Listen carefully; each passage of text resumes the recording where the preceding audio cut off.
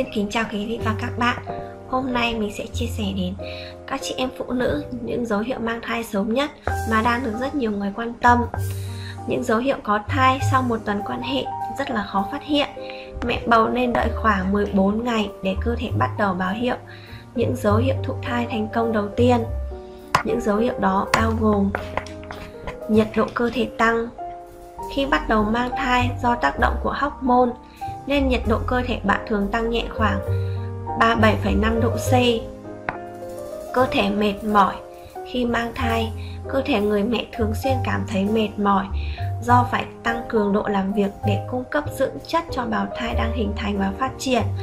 Sau khi quan hệ 10 đến 14 ngày, bạn bỗng thấy cơ thể bề ngoài khác thường, rất có thể bạn đã mang thai. Đau đầu Hormone tăng đột ngột trong lượng máu cung cấp cho não giảm vì phải cung cấp cho phôi thai khiến mẹ bầu đau đầu. Vì vậy, sau khi quan hệ không sử dụng biện pháp an toàn sau 2 tuần, nếu thường xuyên cảm thấy đau đầu thì bạn nên bạn đừng nên uống các loại thuốc giảm đau đầu mà hãy đến bệnh viện và các phòng khám để kiểm tra. Vòng 1 của bạn tăng kích thước sau khi thụ tinh, nồng độ các hormone trong cơ thể đều thay đổi. Các thay đổi, các tuyến sữa bắt đầu hoạt động để chuẩn bị hành trình làm mẹ. Máu đổ dồn về bầu ngực khiến chị em thấy nóng gian và căng tức. Buồn nôn và nôn Tùy cơ địa từng người biểu hiện buồn nôn và nôn có thể xuất hiện sớm hay muộn ở phụ nữ mang thai.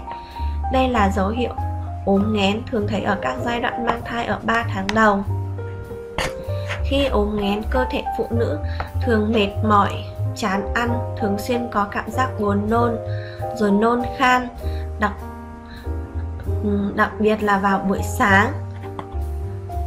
Da máu hồng và tiết nhiều dịch âm đạo sau 1 đến 2 tuần gần gũi với chồng, bạn phát hiện đáy quần lót của mình có chút dịch máu hồng nhạt hoặc là nâu đậm và bạn đừng nhầm tưởng là mình sắp đến ngày mà thực tế ở đây là có thể là do máu báo cho thấy trứng đã làm tổ thành công trong buồng tử cung. Và có khoảng 20% phụ nữ có dấu hiệu này khi mang thai.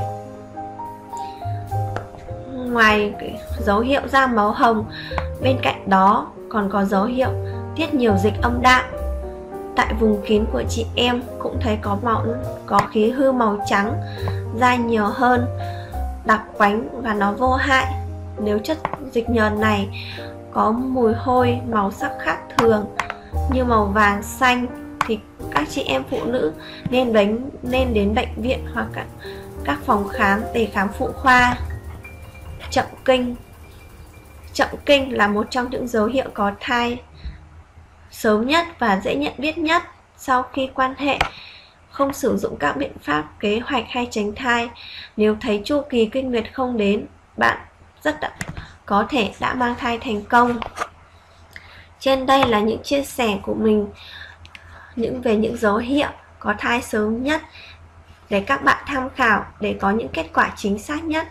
Các chị em phụ nữ nên để sau 14 ngày có thể đến bệnh viện và các phòng khám để khám hoặc dùng que thử thai để có một kết quả chính xác nhất.